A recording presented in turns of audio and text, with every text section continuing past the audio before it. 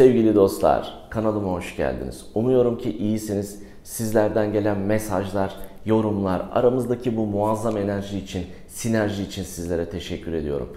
Çok yoğun olarak videolar paylaştık 2019 senesinde. Gerçekten yoğun bir yıl oldu. Yüzlerce video ile sizlerle birlikte oldum. Sonra siz farklı mesajlar gönderdiniz. Bu mesajlarla yeni videolar çektik. Hala birçok konuda mailler geliyor, yeni konular beliriyor ve yine çok farklı bir konuyla sizin karşınızdayım.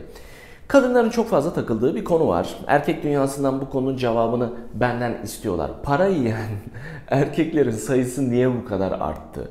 Yani her gün sürekli bir para yiyen, para yiyici, kadını tespit edip onunla ilişkiye girip elektrik faturasına kadar, cep telefonu faturasına kadar ödeten adamlar var. Eskiden bu adamlar yoktu bu konuda en fikiriz. Yani yiyici tayfa belki her zaman vardı.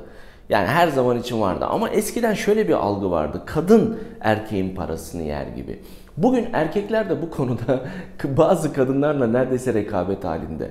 Yani muazzam derecede para yiyen, bunu sistematik bir şekilde yapan, parası olan kadını özellikle tespit eden, sonra onunla ilgili avlanma sürecine giren, çalıkların arkasından böyle yavaş yavaş kadına doğru yaklaşan, sonra onu tavlayan, sonra o kadının duygularını sömüren, sonra inanılmaz derecede parasını yiyen, yani burada 2-3 milyon lira yedirmiş kadınlarla ben bireysel çalışmalar yaptım. Birebir tanıdım onları. Olabilir.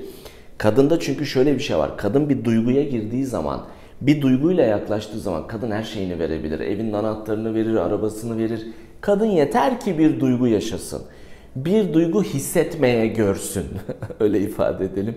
Erkeğe bütün kapılarını açabilir. Erkekler öyle değil. Çünkü erkekte çoğunlukla sol beyin yani mantık devrede kalabiliyor. Yani bizim el frenimiz o. Mantık konusu. Mantık devrede kalabiliyor. Ama kadın sağ beyin yani duygu odaklı muazzam derecede verici olabilir. Bir erkeğe hayatıyla ilgili bütün kanalları açabilir. Şimdi ben burada bu videoda size para yiyen erkeklerin sayısı son günlerde niye bu kadar arttı? 5 maddede size anlatacağım. Çünkü bu olay aynı zamanda toplumsal bir olay, sosyolojik bir olay. Yani bu birdenbire hani rüzgarın Lodos'tan işte Poyraz'a dönmesiyle olan bir şey değil. Türkiye'deki sosyolojik koşullar değişiyor. Aslında bütün dünyada değişiyor.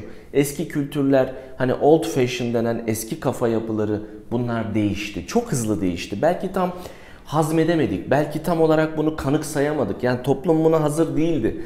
Türkiye buna hazır değildi ama o kadar hızlı bir değişim oluyor ki özellikle internetle birlikte, sosyal medya ile birlikte dehşet bir değişim var ve bazen bu hızlı değişimlerden ortaya çıkan böyle parazitler, böyle bir takım yiyici adamlar inanılmaz derecede kadınları kötü niyetle kullanabiliyorlar. Şöyle olaylarla karşılaştım.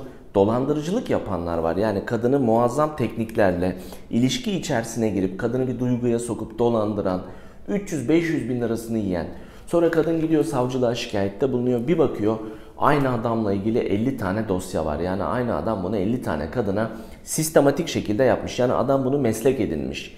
Şimdi peki bunu nasıl e, çözümleyebiliriz? Nasıl analiz edebiliriz? Sebepleri neler? Ben bununla ilgili haftalardır bir çalışma yapıyordum. Şimdi sizlerle paylaşacağım. Bir, bir kere boşanmaların sayısı çok arttı. Boşanmış, yalnız yaşayan kadınların sayısı çok arttı. Anlatabiliyor muyum? Bu birinci madde. Şimdi Türkiye'de boşanma hızı %22, %23 gibilerde yani çok yüksek bir hızla da artıyor. 5 sene sonra bunun %30'lara çıkabileceği söyleniyor. Bunun sebebi, boşanmaların en büyük sebebi zaten insanların belli analizleri yapmadan, işte hep bahsediyoruz evlilik analizi yapmadan evlenmeleri. Yani karşısındaki insan onun için doğru bir insan mı, aileler uyuşabiliyor mu? Bunlara hiç bakmadan insanlar evleniyorlar. Oysa Adil Beyciğim ben çok sevdim, çok aşık oldum, evleneceğim. Ailem onu istemiyor. Hatta çocuğun bazı kötü davranışları da var. Ama ben evleneceğim onu çok seviyorum diyenler genelde boşanmaya gidiyorlar. Onların sonu adliyede bitiyor. Ama buna önem vermiyorlar. Çünkü biz seviyoruz, mutlu olabiliriz. Öyle bir şey yok. Bugünkü koşullarda hani iki gönül bir olunca samanlık işte bilmem ne falan bunlar doğru değil. Çünkü artık dünyada koşullar değişti. Şimdi bu konuyu kapatıyorum. Boşanmaların sayısı arttı. Birinci madde bu. Eskiden bu kadar boşanma yoktu. Boşanan yalnız yaşayan kadınların sayısı arttı. İkinci madde Burada yalnız yaşayan kadınların sayısı arttı ama bu kadınlardan yüksek tazminat alıp boşanmışların sayısı da arttı. Yani o kadar çok kadın var ki yalnız yaşayan ve çok zengin olarak yaşayan. Yani boşanırken kocasından 3 milyon 5 milyon liralar tazminatlar almış kadınlar var. Yüksek tazminatla boşanmış. Ve bu parayla ne yapacağını bilmiyor. Üstelik kalbi boş. Kendisini boşlukta hissediyor. Bir duygusal olarak bir boşlukta. Kötü bir boşanma yaşamış. 35-40 yaşında gencecik. Yani çok genç yaşlar bunlar. 35-40 yaş Türkiye'de yaşlı olarak adlandırılıyor. Çok saçma, çok genç yaşlar. Bu yaşlarda boşanmış ve elinde milyonlarca lira tazminat olan bir de kocası boşanmak için kadına bir de ev vermiş. bir de araba vermiş. Bir tane de yazlık vermiş Bodrum'dan. Kadın bu mal varlığıyla tek başına duruyor. Hatta daha ötesi kadının çocuğu da yok.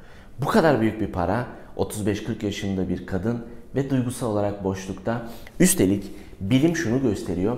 Bir kadının cinsellikte en yoğun arzularının olduğu, cinsellikte zirveyi yaşadığı yaşlar 35 ile 55 arası. Tam bu dönemde kadın yalnız kalmış ve hayatında hem cinsel açıdan hem duygusal açıdan ihtiyaçları var. İşte bu para yemeyi düşünen erkekler için çok büyük bir fırsat. Çünkü bir kadın var, çok büyük bir parası var ve yalnız. Ve etrafında kimse yok. Kocası bırakmış gitmiş. Ayrılmışlar bir şekilde ve kadın bu parayla ne yapacağını bilmiyor. İşte adamlar, adamlar bu para yiyici adamlar diyorlar ki ya krizi fırsata çevir. Burada büyük bir fırsat var diyorlar ve bunu tespit ediyorlar bakın. Çok net bilgi veriyorum. Üçüncüsü boşanan 40 yaş üstü, 35-40 yaş üstü boşanmış kadınların takıldığı, onların bir araya geldiği, onların gece hayatında işte yedikleri, içtikleri böyle gece partiledikleri böyle parti yaptıkları mekanların sayısı çok arttı. Şimdi İstanbul'da böyle mekanlardan ben size 40 tane sayabilirim. Bu kadınlar oralardalar ve para yemeyi düşünen erkekler bunu biliyor. Ya bu kadınların hangi mekanlarda takıldığını, nasıl sohbetler ettiklerini, bir araya geldiklerinde neler konuştuklarını, bu kadınların hayatlarında bir erkeğe aslında ihtiyacı olan bu adamlar biliyor. Ve bu adamlar özellikle o mekanlarda takılıyorlar. Bu adamların bazı taktikleri var. Lüks bir arabayı kiralıyorlar. Mekanın önüne çekiyorlar. Yani adam kendisini de çulsuz değil de zengin olduğunu göstermesi lazım. Çünkü kadın zaten çulsuz bir adama pek bakmaz.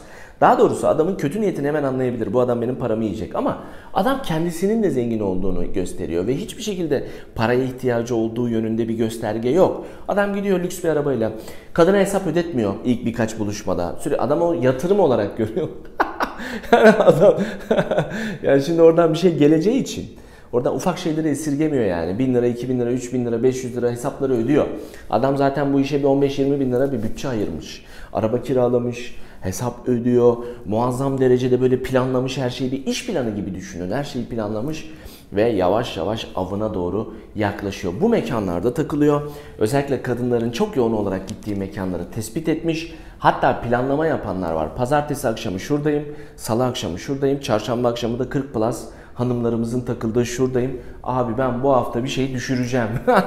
Şimdi para yiyen adamın böyle stratejileri var. Ben bu hafta bir tane bir şey düşüreceğim abi oltama atıyorum diyor. Şimdi dördüncü maddeye geçiyorum. Erkekler eskiden 80'lerde 90'larda mağdur edebiyatı yapmayı bilmiyorlardı. Yani bir ihtiyaç sahibi olsa bile adam bunu söylemeyi bir zayıflık olarak görürdü. Bir erkeklik onuru diye bir şey vardı. Azizim artık bunlardan kalmadı yani. Erkeklik onuru, karakter, erkek yapısı, davranışları, çizgileri bunlar pek kalmadı. Eskiden adam mağdur edemiyatı yapamazdı. Ağla işte erkekler ağlamaz diye bir muhabbet vardı. Kendisine yakıştıramazdı. Şimdi her şeyi yakıştırıyorlar. Çünkü kültür değişti. Bakın size bir örnek vereyim. Şimdi ben yüzlerce kişiyle çalışıyorum. Çok fazla şununla karşılaşıyorum. Erkek arkadaşım beni üzdü. Sonra onu affetmem için ağladı. Ağlayarak kendisini acındırdı. Ağlayarak kendisini affettirdi. Bakın bu da yoktu. Şimdi bir kere erkek e, bir yanlış yaptığı zaman bile gidip özür diler. Ama ağlamak nedir? Yani sürekli kadınların karşısında ağlama olayı nedir? Bunlar yoktu. Ben 37 yaşındayım. Ben böyle şeyler hatırlamıyorum. Etrafımda da duymadım. Bir erkeğin cenazesi olur, çok üzgün bir olayı olur. Ağlayabilir tabii ki ama kadına karşı hata yaptıkça kendisini affettirmek için ağlayan erkek olayı benim için Neptünlü gibi bir şey. Ben böyle bakıyorum Neptünlü mü bunlar? Bunlar Jüpiter'den mi geldi? Nereden geldi? Yoktu bunlar. Şimdi bu tip şeyleri kendine yakıştıran bir adamın kadının da milyonlarca lirasını yeme konusunda herhangi bir sıkıntısı olmaz. Hiç yüksünmez yani. Der ki benim gelirim bu. Kendime ben böyle bir iş buldum. Ee, ben ablaları buluyorum, paralı ablaları. Onların arabasını, evini, parasını yiyorum. Oh afiyet olsun Adana kebap gibi bir de üstüne böyle kırmızı biber müthiş bir şekilde parayı yiyorum abi diyor. Adamlar kendilerine bunu yakıştırıyorlar. Bu da değişti. Eskiden toplumda böyle şeyler yoktu. Beşinci madde bakın bu maddeye dikkat. Bu maddeye dikkat, bu maddeye dikkat. Bakın ben kadınlara erkek dünyasını anlatıyorum. Benim işim bu. Lütfen dikkatli dinleyin burayı. Eskiden toplumda bu kadar çok dominant, bu kadar çok eril enerjiye sahip kadın yoktu. Yani kadın kadın gibiydi, erkek de erkek gibiydi. Herkesin rolü belliydi eskiden. Her zaman kadınlar bana sorarlar niye eskiden evlilikler daha sağlamdı? Niye bu kadar boşanmalar yoktu? İki tane sebebi var. Bir, eskiden sosyal medya yoktu. Bu kadar girift, bu kadar karma karışık ilişkiler yoktu. İki, eskiden erkek erkekti, kadın kadındı bu kadar. Ama bugün erkeksi, dominant, böyle baktığın zaman kamyoncu Hüseyin abi tarzı davranışları olan, el kol hareketleri olan falan böyle kadınlar çok arttı. Onlar pasif, mağdur, yönlendirebilecekleri erkeklere bayılıyorlar. Bakın tekrar söyleyeyim. Bayılıyorlar. Öyle bir sevdayla ona bayılıyorlar ki. Bu tip erkek, bu tip kadınlar, dominant kadınlar, erkeksi kadınlar, gel buraya, sana diyorum buraya gel falan tarzı kadınlar alfayı sevmiyorlar. Kendine güvenen, erkeksi davranan, davranışları olan erkekleri sevmiyorlar. Onlar pasif, pısırık.